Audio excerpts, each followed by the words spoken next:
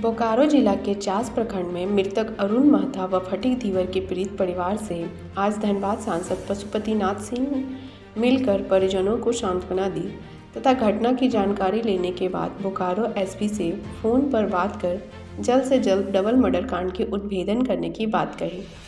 प्रशासन इसे गंभीरता से ले हत्यारे का यह आदत हो चुका है लूटपाट के बाद हत्या कर देना। पुलिस गश्ती व ग्रामीण को सुरक्षा दें पुलिस प्रशासन की विफलता दर्शाता है, झारखंड सरकार में जनता अपने आप को असुरक्षित महसूस कर रहे हैं। हेमंत सरकार में उग्रवाद, लूटपाट की घटना होती रहती है।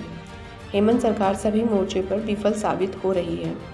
सांसद ने, एसपी ने कहा कि इस घटना का बहुत जल्द ही उद्भेदन होगी। मंगलवार की रात चास मुफस्सिल थाना क्षेत्र के बिजुलिया गाँव के दुकानदार अरुण महता एवं बेलूट के मजदूर फटिक दीवर को दुकान का लूटपाट के बाद निर्मम हत्या कर दिया था। मौके पर सांसद प्रतिनिधि निमाई लाल महता, शेखर चौबे, मंडल अध्यक्ष राजीव चौबे, जिला मंत्री गौर राजवार, पूर्व प्रखंड अध्यक्ष खगेंद्र नाथ मेहता, शिवराम शेखर इत्यादि शामिल थे। दो आदमी की और जैसा कि आने के बाद लोगों ने बताया कि अभी कुछ दिन पूर्व यहाँ और चोरी की घटना हुई है। और दो बरस पूर्व यहाँ इसी तरीका से चोरी और हत्या भी हुई है। निश्चित रूप से ये हैबिचुअल है। और जो चोर की यह आदत पहचाना हुआ चोर होगा।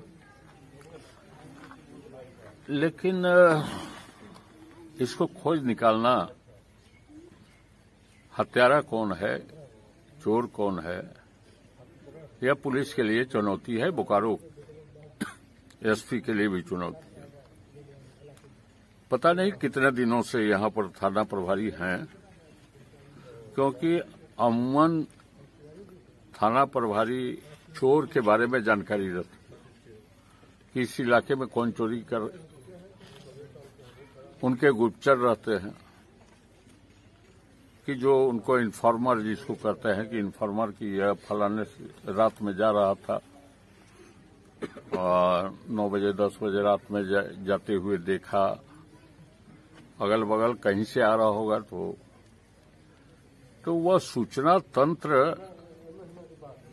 पता नहीं इस क्षेत्र में यहाँ के थाना प्रभारी को है कि नहीं यहाँ के पुलिस अधिकारी को है कि नहीं क्योंकि इस तरीका से कोई घटना कर कर चला जाए और उसको खोज नहीं पाए तो यह बहुत दुर्भाग्यपूर्ण बात है।